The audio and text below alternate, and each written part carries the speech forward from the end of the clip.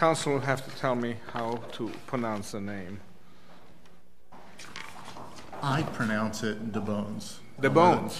Uh, Okay. I figure I'll- if I'm incorrect, I just stay incorrect for the remainder. Ooh, The goes with the bones, 'cause subject matter, uh, bones. Bones, yeah. New bone. And it, it fits nicely into the, uh, the fabric of the narrative. Um, Yeah, I like that. Them broken bones. Okay. And you're, okay. Okay.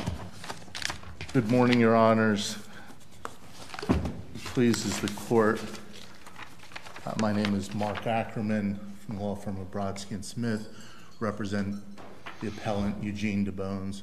Um, I'd like to attempt to reserve uh, three minutes of my time uh, for rebuttal. Um, Your Honor, we believe that the district court erred in dismissing uh, plaintiff's complaint on preemption grounds. Um, We believe the facts present uh, the court with a situation that has never been decided in the various preemption cases that have gone up to uh, the Supreme Court, that have been heard by the Ninth Circuit and other circuit courts. The claim hinges on federal law, right? I'm sorry? The claim hinges on federal law. Uh, No, uh, we do not, we do not believe that the claim hinges on federal law. Okay, explain to me why not. Uh, We believe that the claims are state law claims uh, that relate to the fact that uh, Globus in, uh, provided a medical device that was not safe and effective for use in the manner I, thought the claim was that it wasn't registered. No, we, it is certainly referenced throughout that this was uh, never approved by the FDA. This is a situation where uh, the company, one, did not pursue a PMA, a pre-market um, assessment of the uh, device, and then also did not initially seek uh, 510K. As- um, Well, see, see, the more you talk about that stuff, the more it sounds like it's preempted. No, if we, t- if we strip all of that stuff out of the complaint, if we strip all of the allegations about failure to register, failure to comply FDA, failure to do a pre, uh, you know, one one of these things, uh, pre things, uh, uh, if we, what, what's left of the complaint? Approval. Well, so. Thank you. If the, if the FDA, uh, if, if if the MDAs did not exist, if the FDA did not exist, and there was uh, uh, a uh, procedure... You're, restating the question. Your clock is ticking. I'm saying, well, let, let's not restate the question in a way that's different from way I stated. I'm not positing there is no FDA. I don't want to talk about that. I'm asking you, what happens if we take all of the stuff in your complaint that references federal registration out? Okay. Just take it, you know, take a big black marker and mark it out. What's left of your complaint? That um, Globus provided a medical device that was not safe and effective for use in the... Based on plaintiff. what? Yeah, That based is a conclusory statement that is made throughout the complaint, but there's no evidence in the, there's no allegation in the complaint that your client sustained any injury, that the product didn't work, and that it's not safe.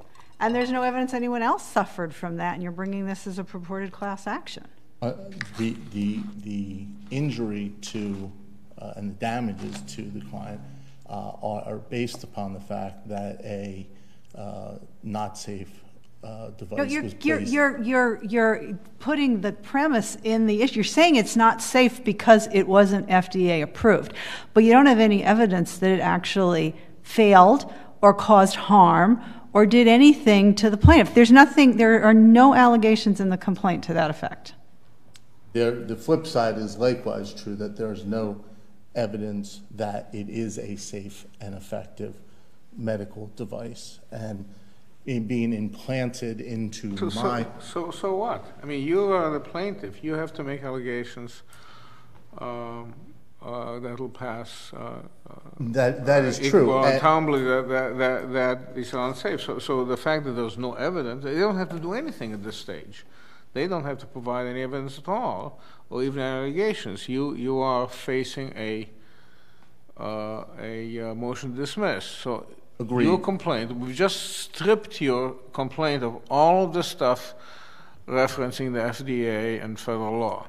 Yes. Uh, What have you got left other than a bare allegation saying this thing is unsafe? Well, we also have an allegation that we entered into a contract, what we believe they're a third-party beneficiary of, uh, again, for a product that is safe and effective for the intended use. And folks can contract for uh, anything that is not in- illegal to do. Um, Okay, Yeah, th- What, I'm sorry, uh, just what is the injury to your client?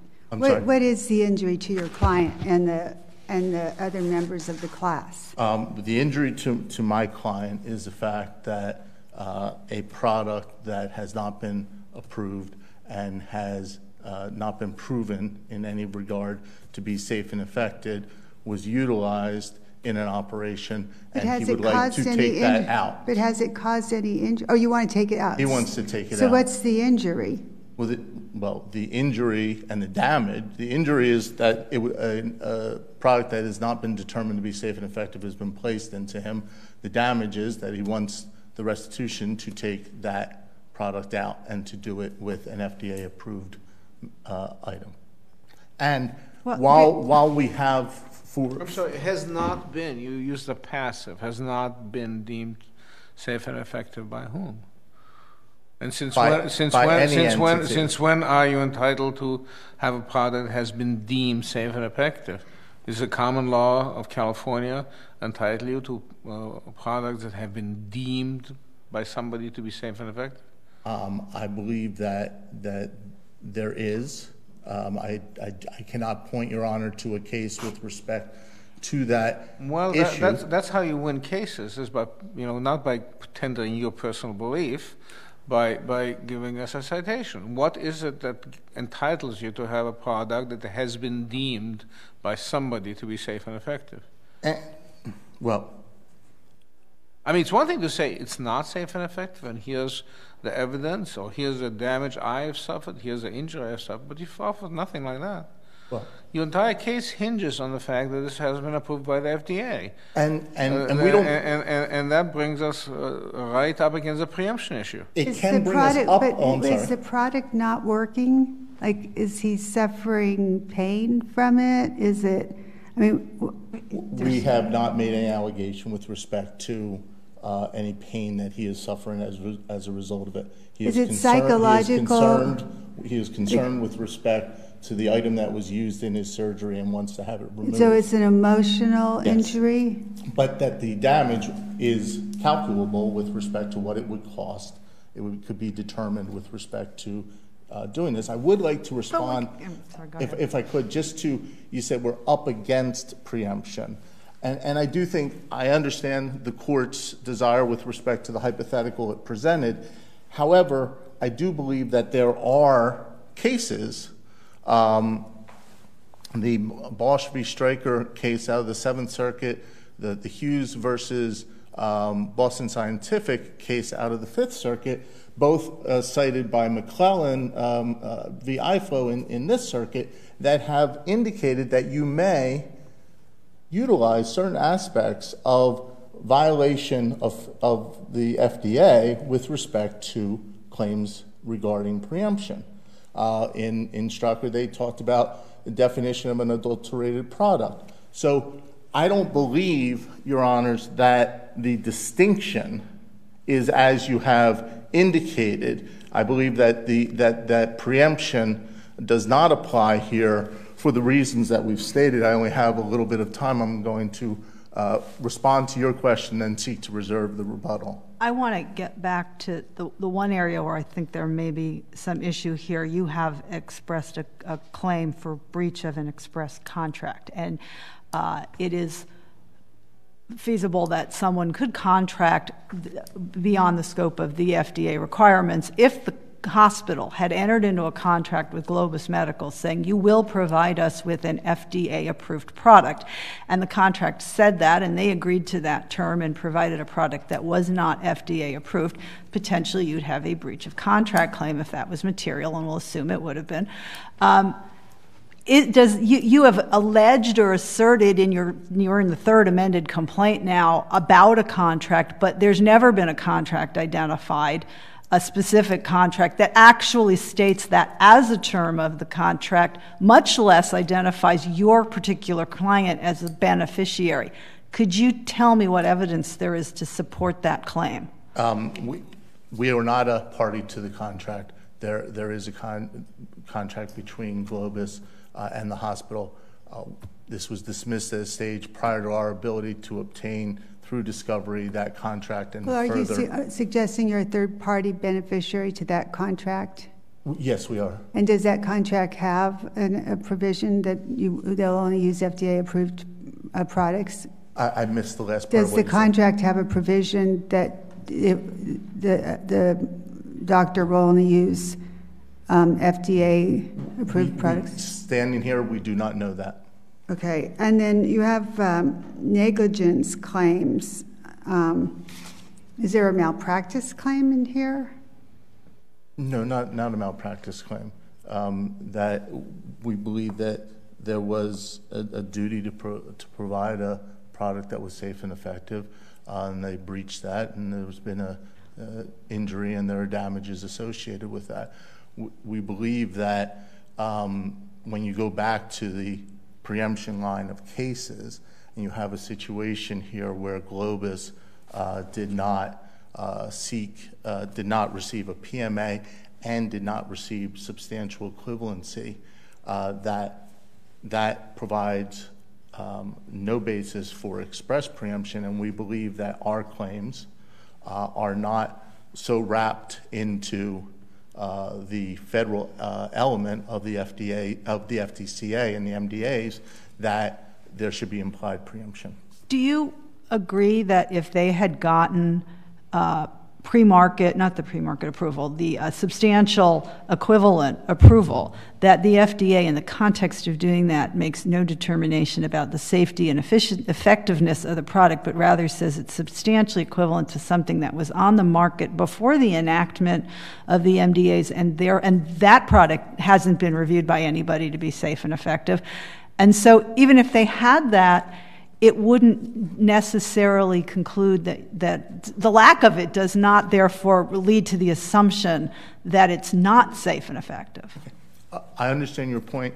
I believe that, yes, there is a rigor associated with PMA, and it's all written as the 1,200 hours that the FDA goes through.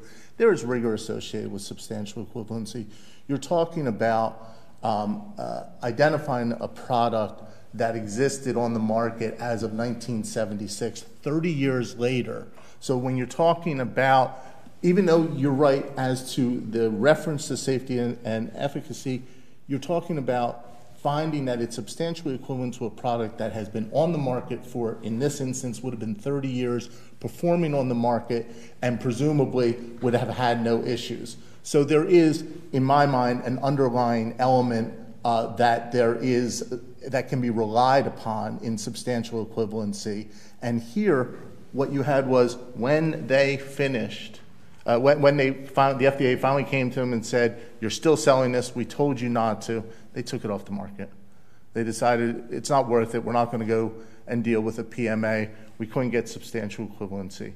So, for the reasons that we've set forth, uh, I'm well over my time now. Um, we believe that it was improper for the court to dismiss the matter.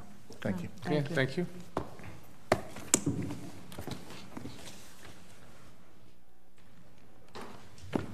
Good morning, Your Honors. Uh, Paul Killian for the Appellee Globus Medical.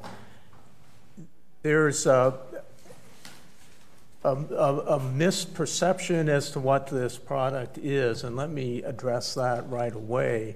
Uh, it's set forth in paragraph 15 of the complaint. This is a 100% human tissue product. It's not a device. And so, who do you think is confused? The plaintiff is, it, because they're describing. But he's not deciding the case. We are deciding the case. Do you think we're confused? I no, I have not seen So any why are you why are you starting with this? Why, why are you talking about this? Because it goes to the the remedy argument that was just made that they want uh, this this product removed. There's nothing left in Mr. DeBons' body regarding this product. It's 100% allograft human tissue product. It's bone. It's turned into bone. It's been completely metabolized. That's the beauty of the product. Uh, so it's not a device. There's nothing to remove. There's no allegation of How how does this bear on any of the issues presented to us? because it, it, it goes to whether or not there's an injury. And there- and there is- and- there and- is and- no- And that- and that bears on what? There is no injury. That bears on what of the issues, which of the issues on appeal? It, it, it bears on the, on the argument that there is uh, an alternative state basis for this claim. Okay. I don't get it, but okay. If you think this is the best use of your time, you go ahead. Y- Your Honor, I, I think this, the, the questions and the responses that I've heard in, the- in the discussion, I don't think there's a lot to talk about here. Okay, well, thank you. Cases are, you will stand submitted. Yes, thank you.